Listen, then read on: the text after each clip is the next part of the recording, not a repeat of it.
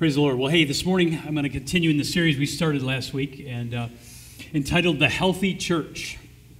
And uh, as I had mentioned then, then uh, sometimes in order to discover what a healthy church looks like, it's important to examine and, and kind of see what is the unhealthy church. Uh, re- what does that reveal? What does that show? Because uh, what it shows is it reveals the imbalance sometimes in churches where they get unhealthy. And uh, we don't want to be that, right? We don't want to be the unhealthy church. We want to be the healthy church. I want to be a healthy Christian. I think all of you want to be healthy Christians, right? So, so much of life, including our spiritual lives, uh, is, has to do with finding the balance, right? Finding the balance, right? Where, where's that balance where I'm not way over here, I'm not way over here, I'm right where I'm supposed to be, right where God would have me to be? And, um, and the verse that always comes to mind when I say that is. Uh, I think I'm on. I'm on. So the verse that I always say that would be in Ecclesiastes. It's 7:18, and it's the second half of it. And the writer, most likely Solomon, uh, says this: "The man who fears God will avoid all extremes." Mm, think about that. The man who fears God will avoid all extremes. And that's where we want to be, church. Hallelujah, right? Amen. So if you stand and honor God's word, and turn to Romans chapter 1. We'll get there shortly. Last Sunday, uh, I discussed uh, four unhealthy churches which ultimately have their roots in unhealthy people, right? A church is made up of people. It's not these brick and mortar that we have here, it's us people, right? So praise the Lord. Hallelujah. Now I'm on there, I think. All right. Um, the first church that was pointed out was the King James only church that we talked about. And I know when I said that, I hear some oohs out there like, what's he going to say about that? But this church reads teaches and preaches from the King James Version only. And as I mentioned, uh, it is important that we maintain the original text of the, of the writers and under, as they were under the inspiration of the Holy Spirit. Of course, we need to do that. But when they're with, with this type of church, it gets out of balance in that uh, they, they, believe that all other versions are New Age versions or are from corrupt sources. And uh, that's, not, that's not true. And so um, I would disagree with that, that thinking. Uh, for one, there are multiple ways to say, like I said last week, I'm going to the store and I'll be back quickly. You could say that probably, I could probably say that 10 times and you'd know the two points that I'm, I'm bringing out.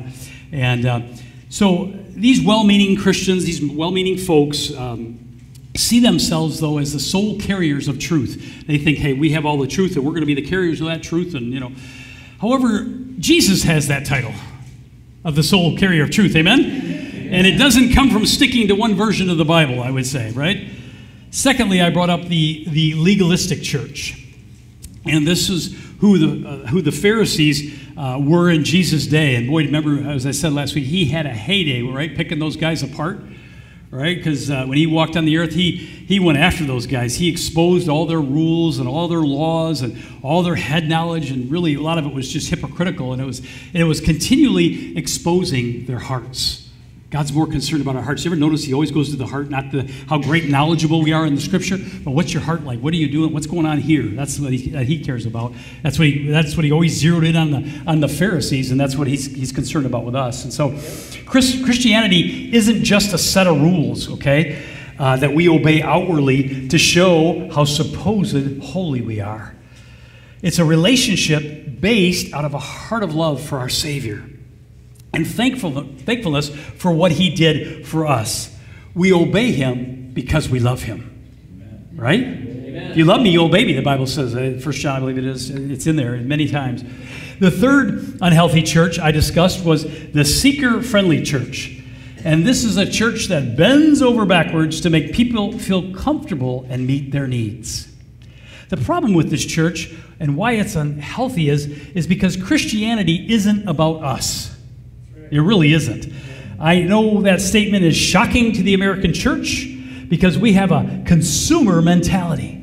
Hey, if it's not good here, I'll run to the next church. And if they don't fill my coffee cup when I walk in the door, I'll go to the next church. And if they don't greet me, everybody bows down and says how great I am, I'll go to the next church, right? You know what I'm talking about. Come on. I don't see that in the African church. Didn't see that in the Nicaraguan church. They were smiling. They were on a dump. These kids are living in a dump and they're smiling. They come to church smiling and happy. Loving Jesus with all their heart. Wow, that, that right there's a message, right? It's not about us, but about Jesus and about others. Growing in our relationship in God and leading others to Jesus Christ. like I had the privilege to this week with uh, my good, uh, my buddies, you know, parents. That was awesome. It's by our actions, by our deeds, by our words. Those are all the things that we can reflect Jesus.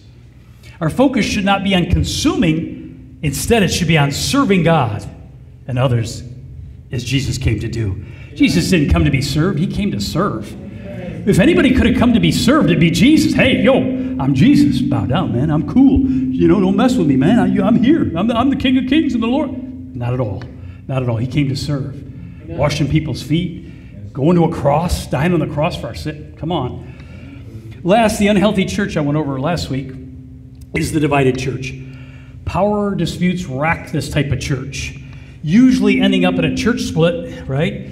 and their, their witness to the world is gone in the process. You might as well throw it out the door because they're like, How these, how's this church any different than the world? They're, they're just arguing and fighting amongst themselves. That's what the world does, right? God works through people who are in unity, right? In a mighty way. Satan works through disunity, doesn't he? He loves Satan loves church splits. That could be his middle name. Satan church split, right? He loves those things. I'm telling you, he does. And so I'm going to be in we're going to be in Romans 1 and Paul is writing about the wrath of God being revealed from heaven uh, against all the ungodliness and the wickedness of that day. And so let's read on. We're going to be in Romans chapter 1, starting with verse, it should be up here, but starting with verse 21. For although they knew God, they neither glorified him as God nor gave thanks to him, but their thinking became futile and their foolish hearts were darkened. Although they claimed to be wise, they became fools and exchanged the glory of the immortal God for images made to look like mortal man and birds and animals and reptiles. Therefore, God gave them over to their sinful desires of their hearts to sexual immorality, impurity, for the degrading of their bodies with one another.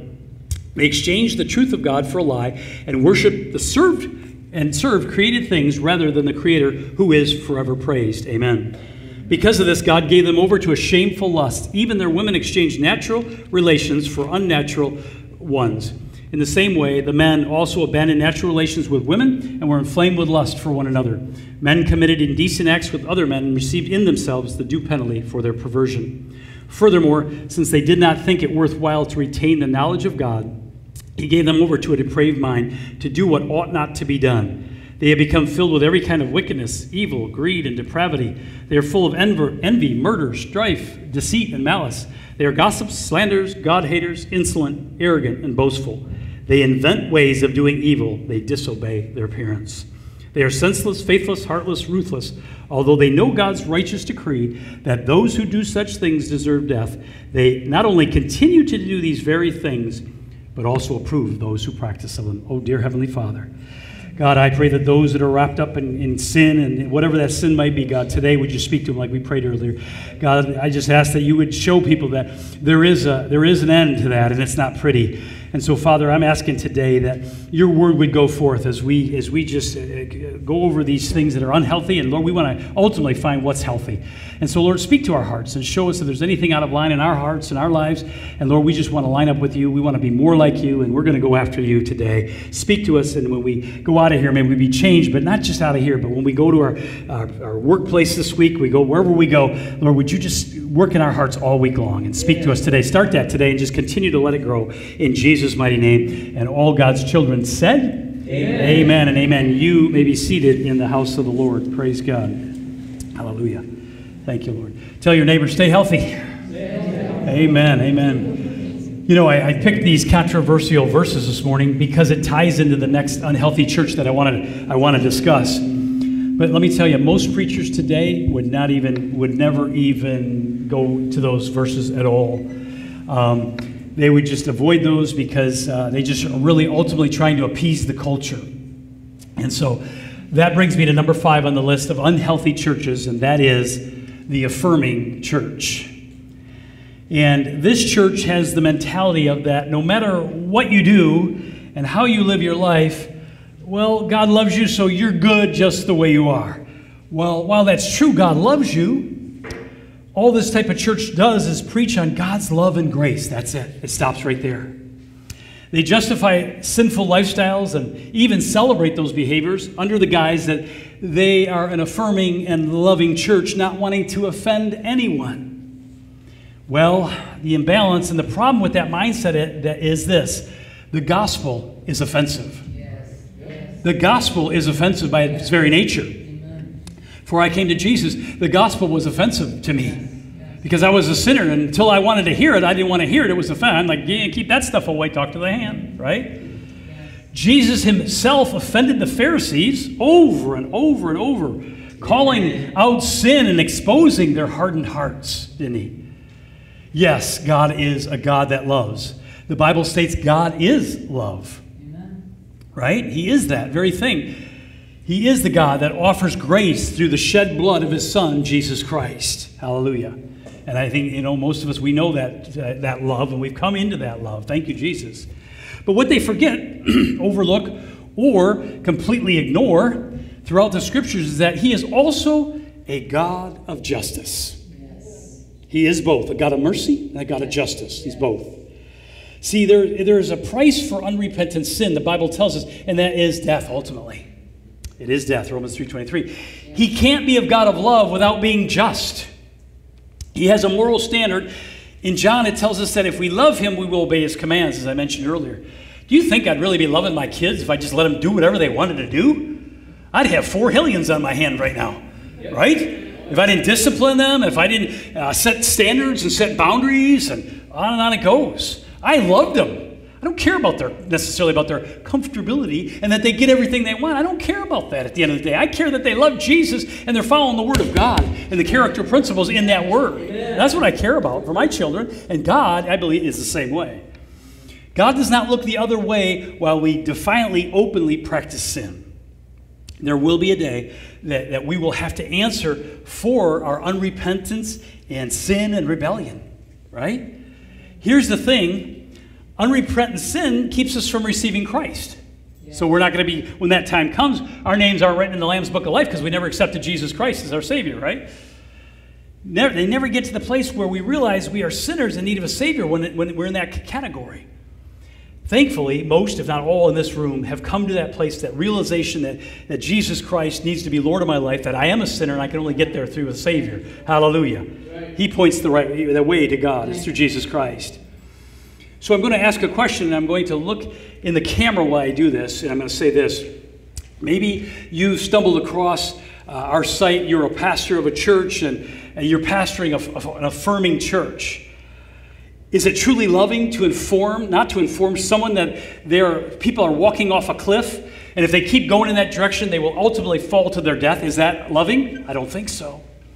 That's not what affirming churches, I mean, excuse me, that's what they do, what affirming churches do. They allow people to keep walking into the darkness without ever turning on the, the light and exposing the truth. Amen. We'll be responsible for that as teachers.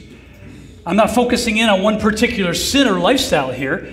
As shepherds, we need to preach the whole Word of God and God's love, right, for others. But we can't affirm lying, we can't affirm stealing, we can't affirm cheating, gossiping, slander, disobeying our parents, and the list goes on and on, right? Paul tells us in 2 Timothy 2:15 to correctly handle the word of truth. That's right. That goes for us individually as Christians, but for those who are also uh, teachers and pastors, those of us who are that in that category, because as pastors, we'll be held to a higher standard of accountability right. before God. If you're thinking, where did he come up with that? Well, let me tell you, God's word, not mine. James 3:1. Not many of you should presume to be teachers, my brothers, because you know that we who teach will be judged more strictly. It's right there in plain as day, right? It doesn't get any softer or prettier as God speaks to, to his prophet uh, Ezekiel in chapter 33, starting with verse 7. It should be up there on the screens. He says, Son of man, I have made you a watchman for the house of Israel. So hear the word I speak and give them warning from me.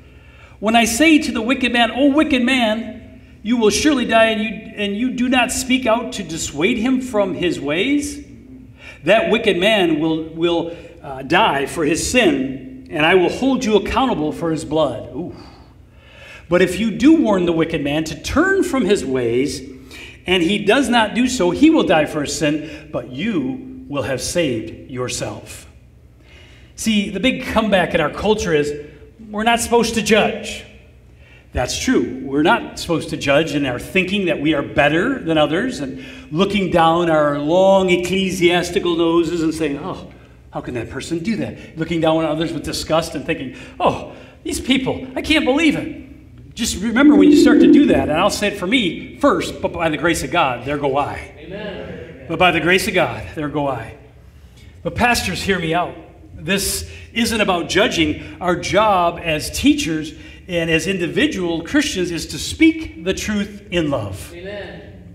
Uphold what this word says, right? I, for one, do not want to be a stumbling block to anyone. And I hope all of us as Christians don't want to be a stumbling block to anyone our neighbors, our friends, our family. Because let me just say this they're watching you. Whether you know it or not, they're watching you. They see you get in that car on Sunday morning. Oh, there goes those Christians. Oh, there they go. Uh, look at them thinking they're all holy, got their Bible, got their dress on. They think they're all that in a bag of chips. Look at them. Look at them, Margot. Would you look at those guys? But when they see you come knocking on their apartment door or going to the next door to your neighbor and say, hey, I'm glad you moved in. We, brought, we got you some cookies here. How you doing? Is there anything you can need? Anything? Boy, these Christians are a little different than I thought they were. I thought they were all just takers and yeah, mean people. But boy, these people are loving. They're kind. They're gentle. They have the fruits of the Spirit, right? So if I'm going to affirm you, church, I'm going to affirm you for going out all after God. That a, that a boy, that a girl. One of those things we get, that a boy, that a girl, you know. I'm going to affirm you for that. I'm going to affirm you for going after and reading God's word and obeying his word and following the principles in the word. There's nothing better for a pastor to, to see or a Christian, one of his one of the one of the congregants coming to him saying, you know, Pastor, God showed me this and He showed me that, and I'm growing in here. There's nothing sweeter to, to a pastor's ear for the for those that are in the body of Christ that are growing in God. That's an awesome thing. That's what, that's what we like to see all of us growing. That's what I want to be doing, of course. But Paul encouraged Timothy in 2 Timothy 4 2 and 4 to preach the word, be prepared in season and out of season, correct, rebuke, and encourage with great patience and careful instruction. For the time will come when men will not put up with sound doctrine Instead, to suit their own desires, they will gather around them a great number of teachers to say what their itching ears want to hear. Mm. They will turn their ears away from the truth and turn aside to myths.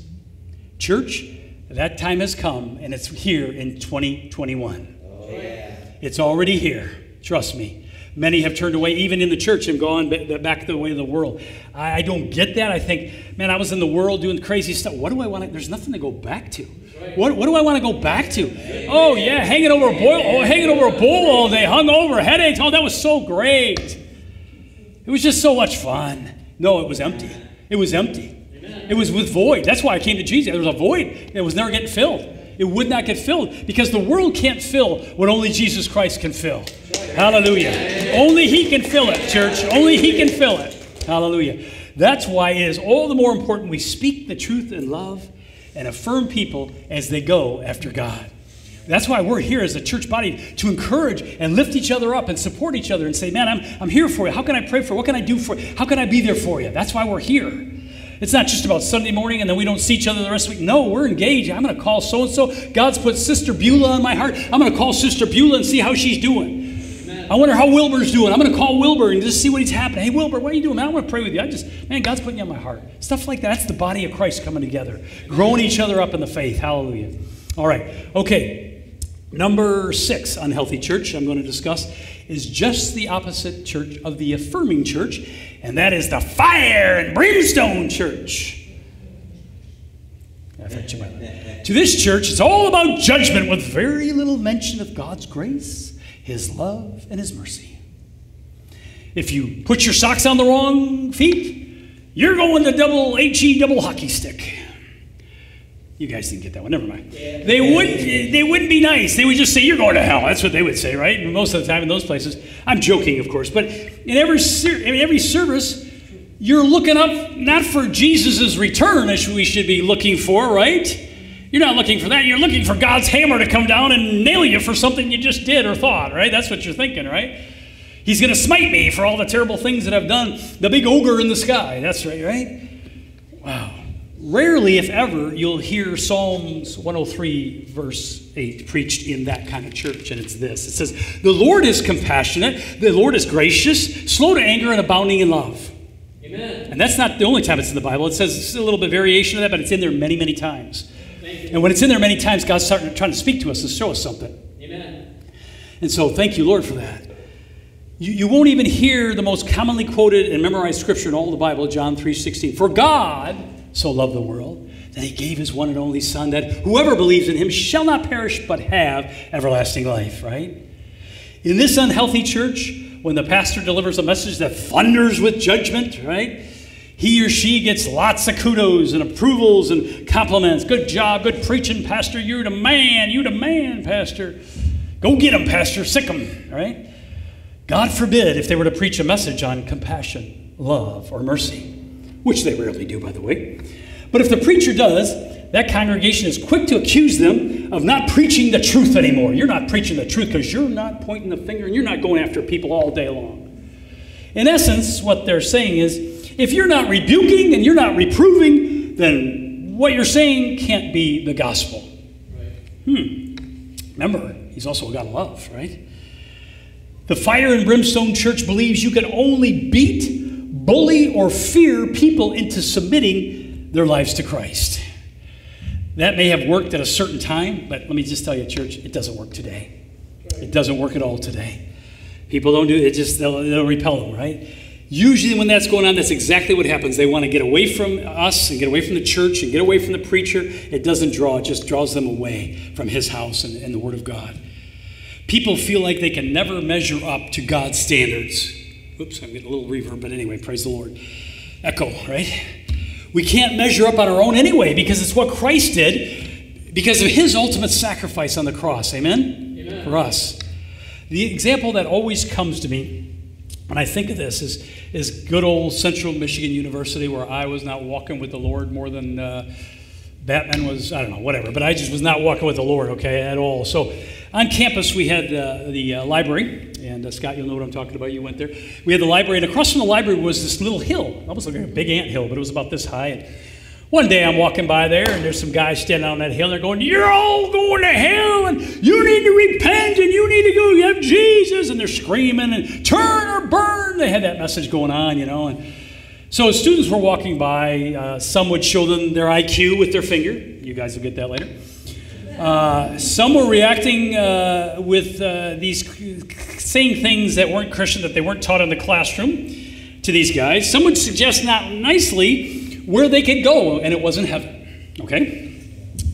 Later that week, I was walking by the same spot, uh, going to that same, or that same class, probably Tuesday, Thursday, or Monday, Wednesday, Friday class. You know how those things are. And guess who was there on the hill? and not even on the hill, actually, they were on the walkway. So the hill's over here, the library's over there, there's the walkway where all the students are going. Guess who was there? The Gideons. The Gideons were there. What were they doing? They were handing out New Testament, Psalms, and Proverbs Bibles. And they, I took one, I put it in my dresser drawer, never looked at it the rest of college, but that's beside the point, okay? But not only did I take it, but I noticed that nearly every student that walked by took one of those Bibles. Interesting. Who's planting more seeds? Who's doing more for the kingdom of God? Amen. They were being the hands and feet of Jesus. Of course, we preach there's a heaven and a hell, obviously. But it shouldn't come through shaming, guilting, fearing, condemning. God didn't give us a spirit of fear, but a power, love, and sound mind. Right? There's therefore now no condemnation for those who are in Christ Jesus. Romans 8 1. Right? God doesn't shame us, He doesn't condemn us, He does all those things. Right? And we don't solely focus on that, right? It's the Holy Spirit's job to bring conviction.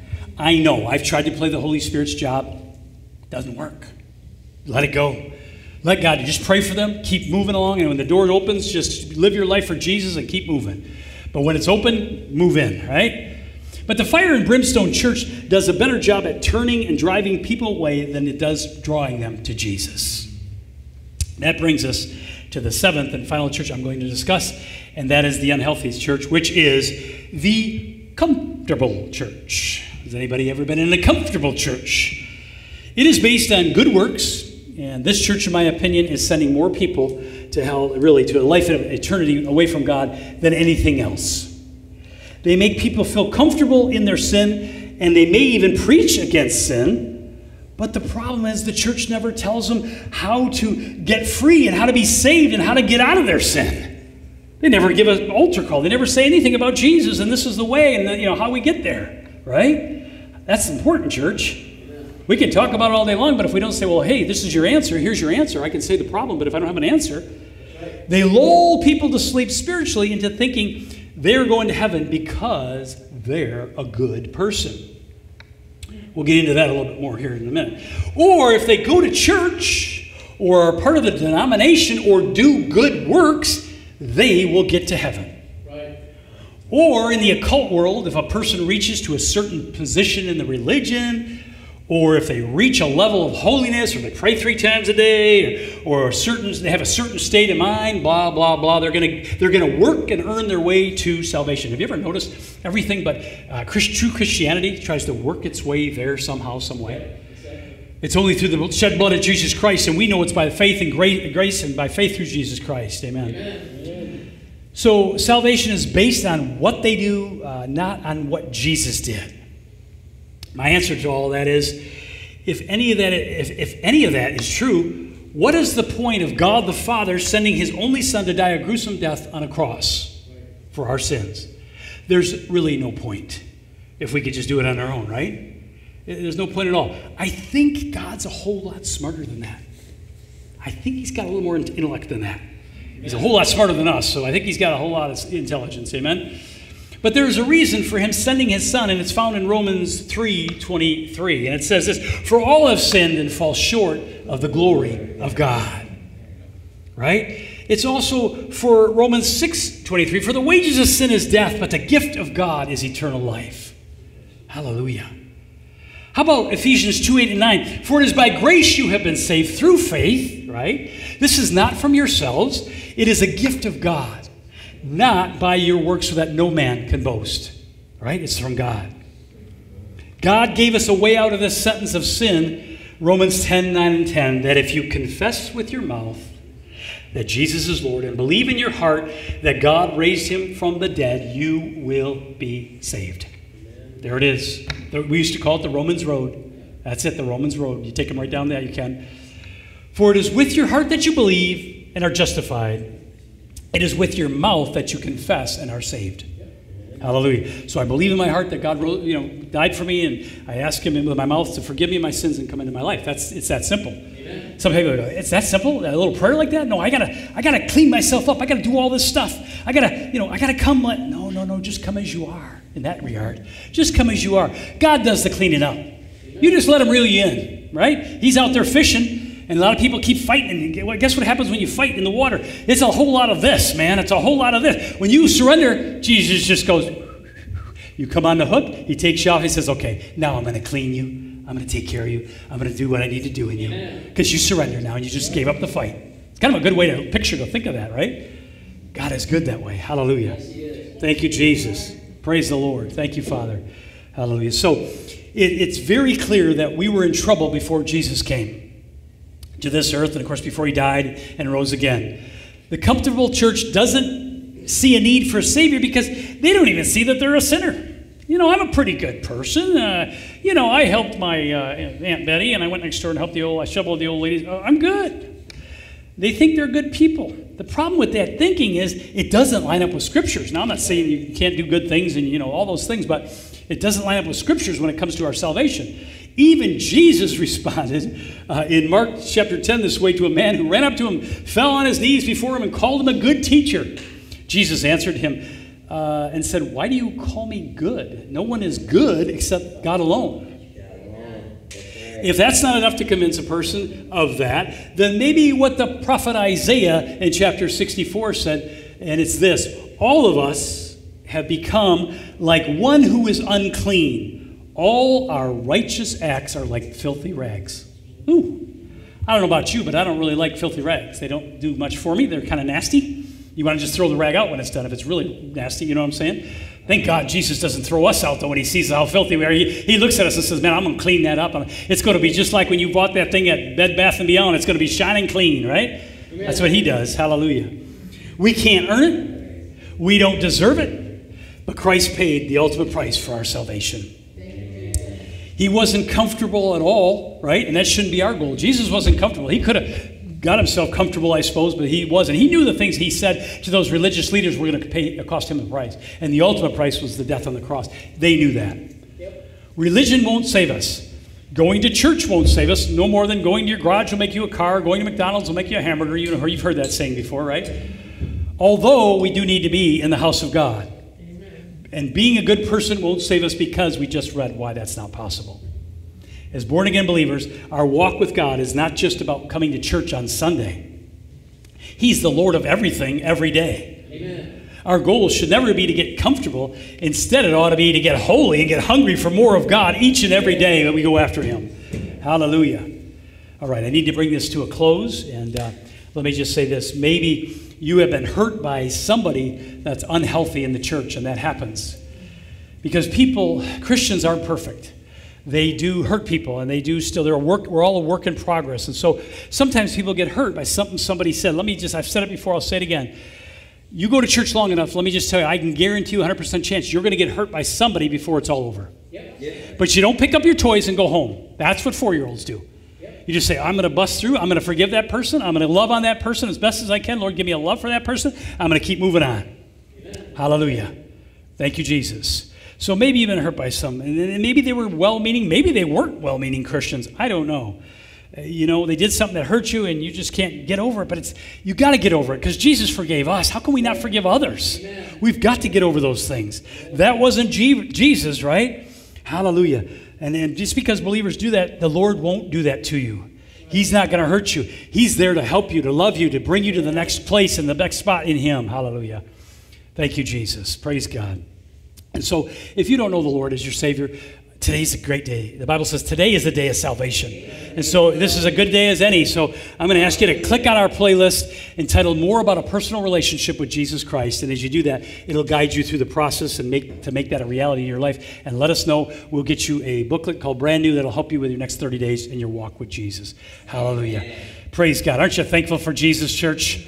Amen. Give it up for the Lord. Hallelujah. Praise God. Thank you, Lord. Thank you, Lord. Hallelujah. He's waiting on us. He says, I stand at the door and knock. Right? If you anyone who hears my voice and opens the door, I will come in and eat with you. Hallelujah. Praise God. With that, that's a good segue. I didn't even realize that, but it's a great segue. Because we're going to have food after church. And, uh, and so I'm not going to give a closing prayer, but uh, we have some kind of dinner going on back there. But the gals asked me to announce that we need a few moments to get things ready. So if you could just fellowship, uh, maybe do a cartwheel, whatever you want to do, just hang out, spend some time, and uh, whatever you want to do, talk to each other, love on each other. We're going to have a dinner after that. We'll pray. Uh, let's just pray for that meal. I guess we could pray for it right now. Father, thank you for uh, thank you for our time together today, our fellowship we're going to have. And Lord, I just ask that you'll help us build relationships with maybe some people we don't haven't built a relationship with in this church yet. Lord, let that be the day. Let us sit with somebody else today and get to know somebody else today as we're sitting down and, and just uh, having fellowship with one another. But Lord, I also pray that uh, you'll bless the food to our body, but I also pray this week that uh, you will just go before us and Lord, you will just see your hand doing great things. Let there be testimonies coming out of this church uh, of people coming to Christ, people coming back to Christ, using us in a powerful way, Lord, and helping us be the church so that we can come back and share all the good things God's done this week.